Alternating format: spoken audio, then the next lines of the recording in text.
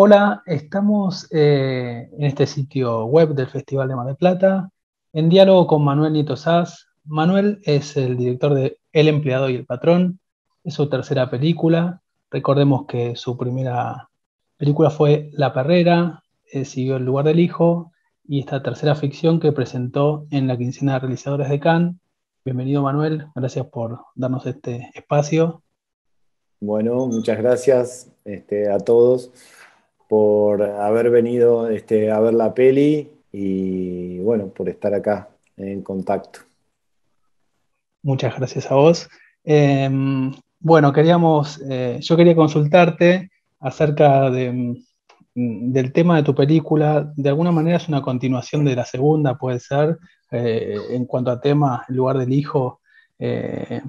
Eh, eh, este tema de lo rural y, bueno, en este caso de, las diferencias eh, que hay entre las clases y, el empleo. Si bien no hay, no hay una declamación social, hay, una, hay un conflicto muy, muy pronunciado o varios conflictos. Quería consultarte cómo, cómo llegaste a este tema, ¿no? a esta idea. Bueno, justamente entre la, digamos, la última parte de la anterior película, El lugar del hijo, y esta, eh, claro, está el universo rural y esos personajes que ahí se mueven, este, peones rurales, patrones.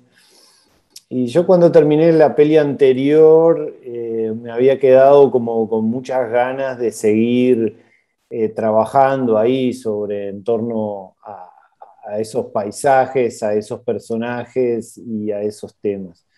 Y ese creo que fue el motor principal por el cual construí esta otra película y es como el mojón inicial a partir del cual empecé ahí a, tejer eh, la anécdota del, empleado y el patrón. Esas ganas de, seguir explorando eh, el interior uruguayo, el universo rural, y, descubriendo, ¿no? Este, salir de la ciudad y llevar el rodaje para afuera, lejos de Montevideo, eh, vivir un poco la aventura de filmar así. Tal cual. Me acuerdo que vos presentaste, o no sé si fue tu productor, que estuvieron en Lobo Lab. Yo, la película ahora lleva unos 5 o 6 años, ¿no? De, producción, Correcto, eh, estuvimos en Lobolab eh, en el 16, creo que fue, 2016. En ese momento apenas había empezado a trabajar con Pasto, con Bárbara. En ese momento tenía una socia que era Delfina Montequia. Y vinimos a Lobolab a ver, a buscar este, otros posibles eh, coproductores. De hecho, en, ahí en, el, Mar del Plata, apareció Milla, que es este uruguayo disfrazado de brasilero, este, que está en San Pablo y que tiene una productora que se llama Sancho Punta.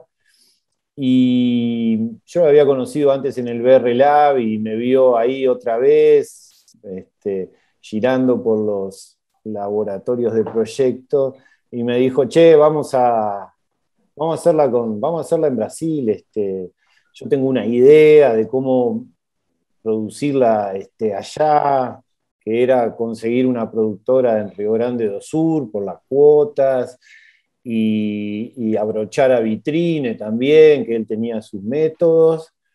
Así que bueno, este, le compré la idea y terminamos trabajando juntos con toda esa gente brasilera, ¿no? que son, son tres patas en Brasil de, de la película. Me acuerdo cuando yo en su momento fui delegado de Varsovia y ahí nos encontramos con la perrera. Vos presentabas la perrera en competencia y, ya estabas pensando en tu próximo proyecto que iba a ser en Salto, me acuerdo que me habías dicho, no sé si, o por esa zona. Y nada, me llamó la atención todo lo que lleva a hacer una película, lo, complicado que es en cuanto al tiempo que te insume, conseguir los recursos para hacerlo, realmente es, es elogioso. Este, sí, llevan tiempo, eh, no sé, cinco o seis años cada proyecto, más o menos, pero un poco son los tiempos del cine independiente eh, de, estas latitudes. Y, pero bueno, quédense tranquilos que no me aburro, no me sobra el tiempo en el medio, o sea, porque la escribo, la dirijo, la produzco y hago un montón de otras cositas este, en el medio por la película este, que me mantienen este, ahí este, entretenido. Son viajes, son viajes personales, o por lo menos yo me los tomo así, y, hago, disfruto del trabajo de investigación, de viajar, de conseguir este, los lugares, las cosas. En este caso había un montón de, había todo un mundo por conseguir, que eran los campos de cosecha funcionando, las carreras de caballos. Este, bueno, vieron que la película se desplaza por un montón de, este, lugares. Y, bueno, y esos, y esos personajes este, ahí que aparecen, eh, sobre todo del mundo del empleado, ¿no? que está todo construido con, con no actores, con gente que tomamos de ahí, de los propios lugares donde, donde fuimos a filmar. A, diferencia, digo, del mundo del, patrón que está armado con, con un elenco eh, profesional y, medio conocido. Este, entonces, eh, nada, yo este, disfruto mucho, no es ningún pesar. Sí, me gustaría hacer más películas, me gustaría estar en rodaje eh, más seguido, pero bueno, así se dan las cosas, estoy contento. Vos comentabas en un reportaje en San Sebastián que lo que era conseguir ese equilibrio, en un actor profesional bajarlo de alguna manera, y, en el caso de los no actores que viven en el campo, en ese ámbito rural, este, eh, no subirlos, pero sí que, hagan lo que vos eh, tenés en tu cabeza, ¿no? Conseguir ese equilibrio. Estaba muy bueno eso que señalabas. De alguna manera estás buscando un método como para equiparar. Sí, en, las otras películas también. Este, a mí me gusta trabajar mucho con actores eh, no profesionales. De todas formas, en, en todas las películas siempre ha habido lugar para los otros. En la Terrera estaba Martina Argemián, en el lugar del hijo aparecía Urda Pilleta y Germán de Silva, y los había utilizado estos actores este, profesionales para papeles en donde había que manejar eh, como mucha información. Entonces, a los protagonistas, que eran no actores, los trataba de hacer hablar lo menos posible y eh, bueno, ponía el diálogo en, este, en estos otros intérpretes. Y en esta me propuse como un desafío mayor en el sentido de construir así los dos mundos con dos castings este, diferentes y apostaba porque ese contraste funcionara este, a, favor de la, a favor de la película. Pero son dos sistemas de trabajo muy diferentes, eh, con los no actores y con los profesionales. Eh, con, los no actores uno trabaja con la esencia de la persona que elige. Y el trabajo tiene, la raíz del trabajo tiene como una especie de pacto de confianza que uno establece eh, con ellos, eh, en donde yo les hago saber que, bueno, yo trabajo con eso, con lo que son, con, no, tienen que representar nada, no tienen que actuar de otra cosa, y no los hago hacer cosas que son muy diferentes a lo que eh, ellos hacen este, todos los días. Eh, y, de mi parte, este, es que yo los defiendo con la, con la cámara, ¿no? como, con la puesta en escena. Es como un entendimiento en donde a, mí no me sirve que te salgan mal las cosas, no te voy a dejar regalado, eh, vamos a trabajar hasta que salgan bien este, y yo te voy a ayudar, pero vos me tenés que ayudar haciendo exactamente lo que yo te digo. Entonces, una vez que eso se percibe, que, digo, mi defensa por ellos, eh, ellos se vuelven tremendamente este, precisos. Uno tampoco elige gente este, boba, elige los más inteligentes y, este, los más capaces y, las personas que tienen el physique du rol que la película necesita. Entonces, eh, bueno, eh, una vez entendido la parte técnica de, la actuación, que es entender en qué espacio de plano te estás moviendo, controlar los gestos, llegar a las marcas sin mirarlas, y, y administrar las miradas y las pausas, eh, hacen todo bien. O sea, todo bien y repiten las cosas una y otra vez, tal cual uno las indicó.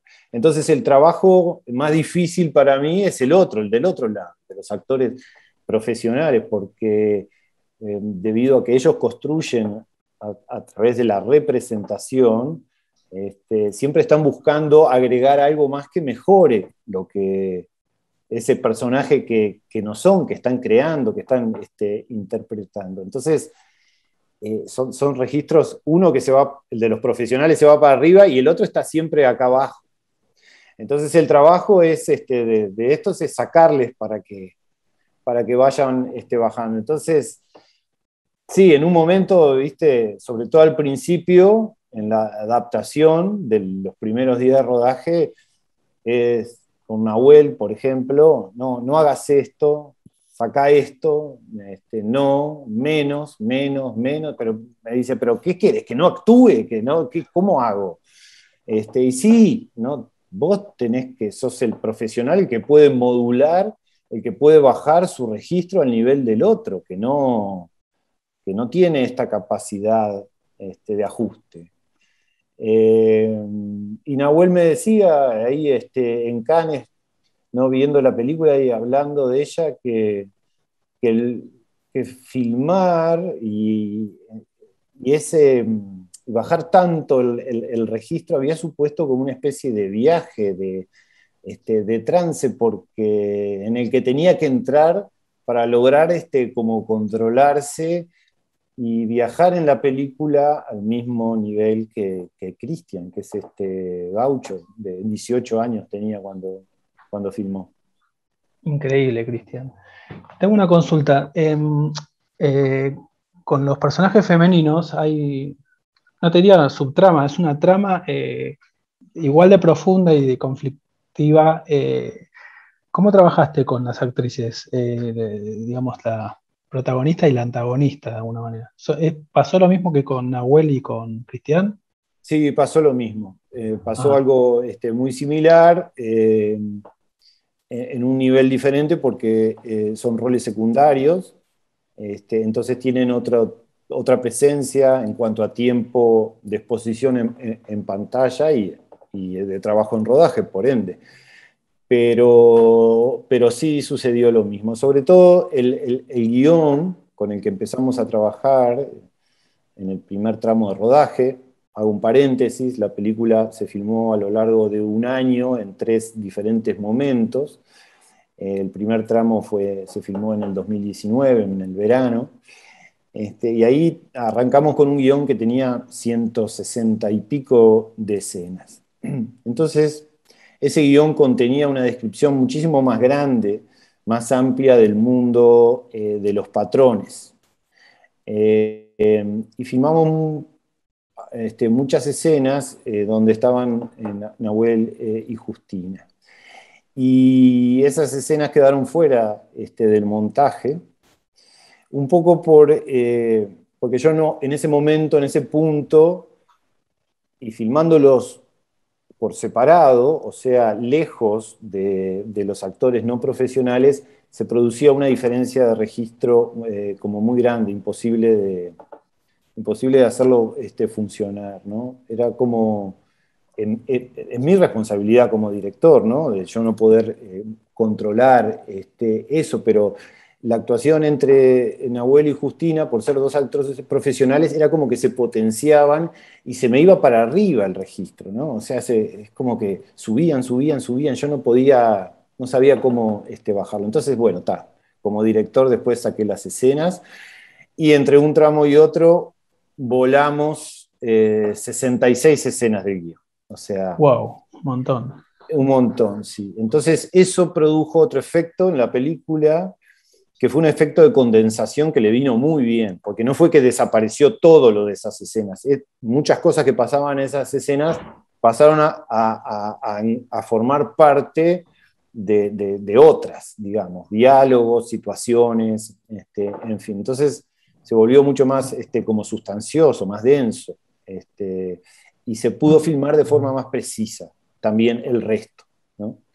Eh, Procesos similares me ocurrieron en las películas anteriores. Yo estaba preparado, es mi método de, filmación, ese de ir por tramo.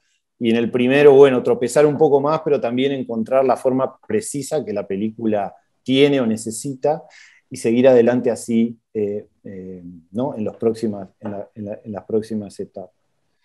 Este, pero hablando de las mujeres y volviendo al tema que me presentabas, este, sí, es una trama secundaria, pero está subyacente desde el principio. Eh, si ustedes notan en, determinado momento de la película, eh, digo sobre el final, cuando empleado y patrón llegan a este acuerdo tácito por el caballo y el juicio y, no sé qué, eh, como guionista lo digo, yo me quedaba sin elementos para conservar la atención hacia, hasta el final de la película.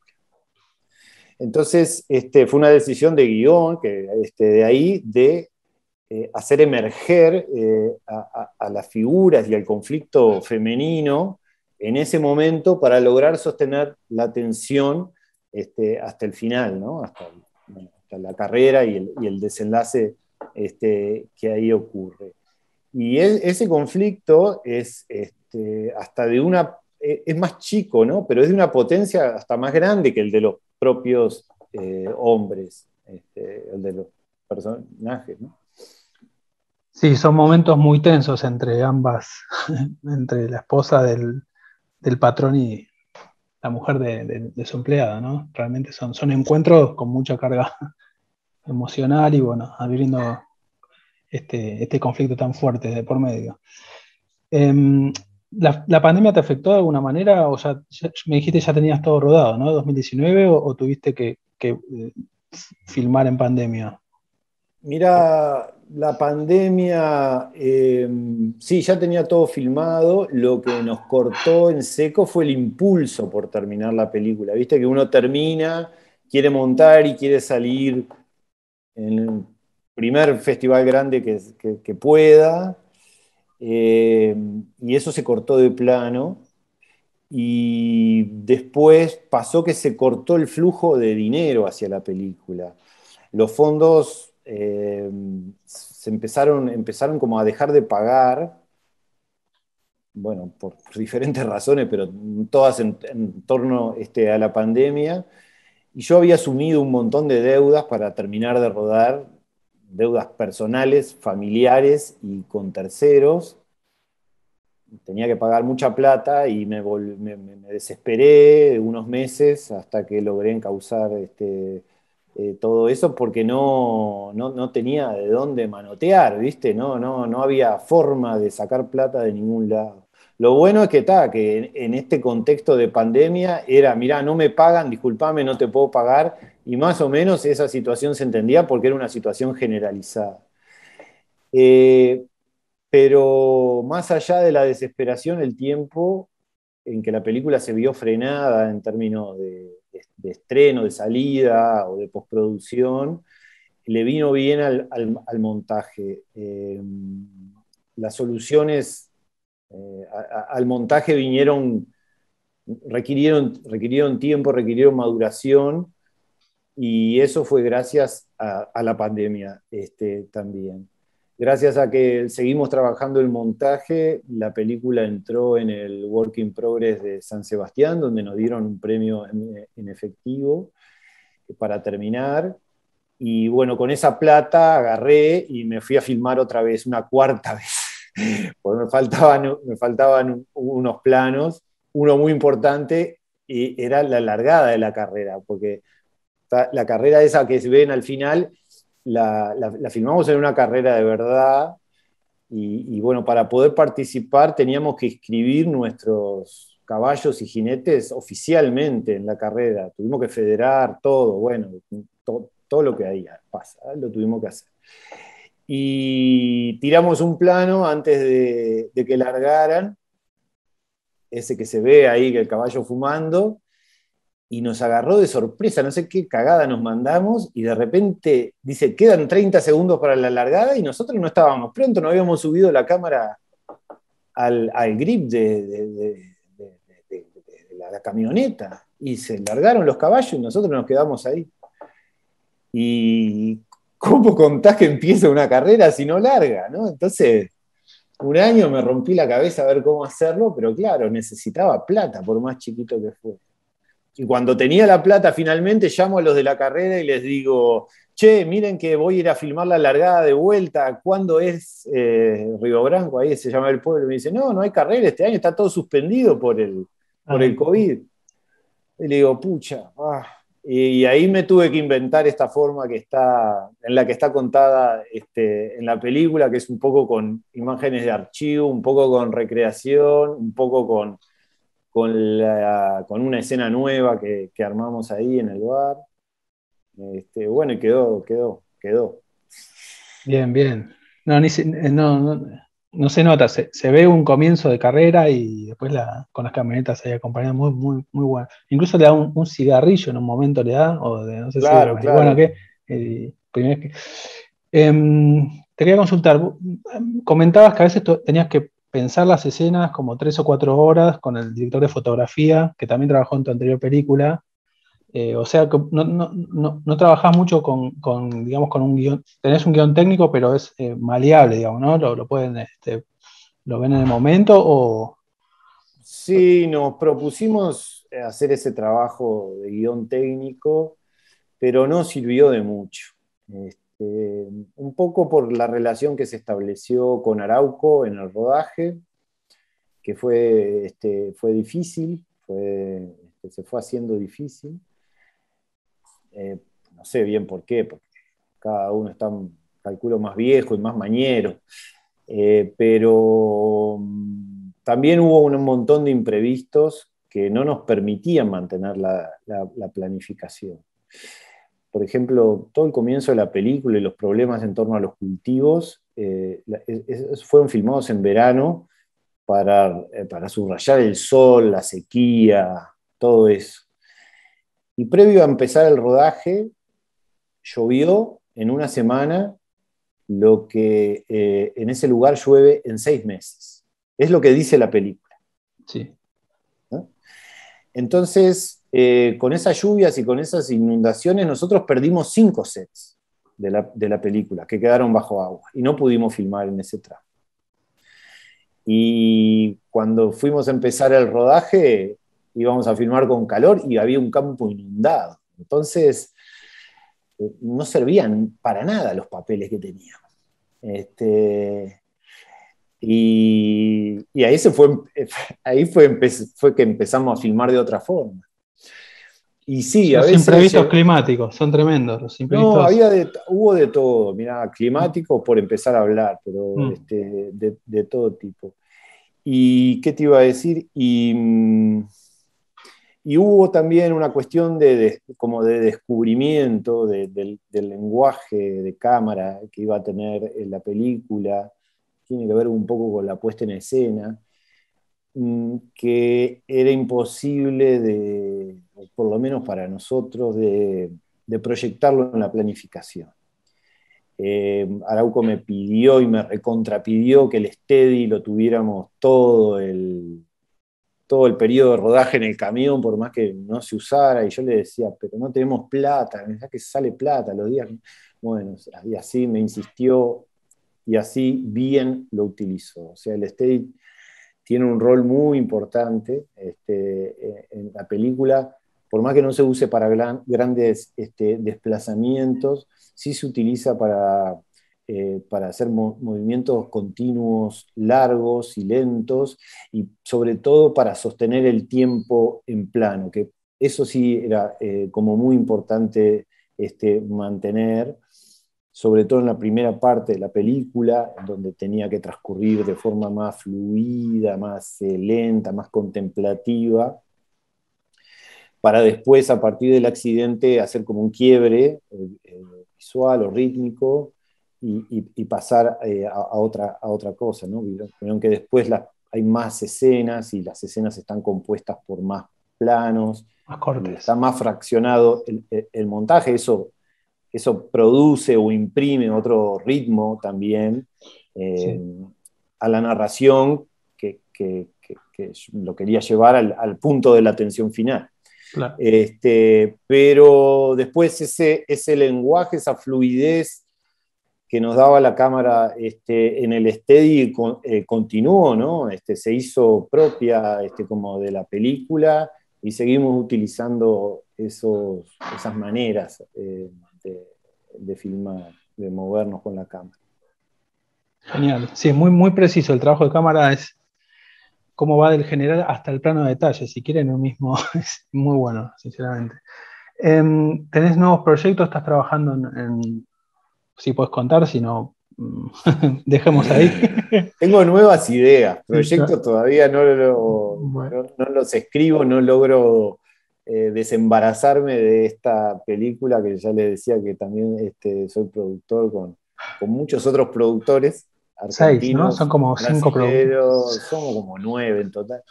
este, pero bueno, eh, pero sí tengo, tengo una idea de, película así como de estas que duran cinco o seis años.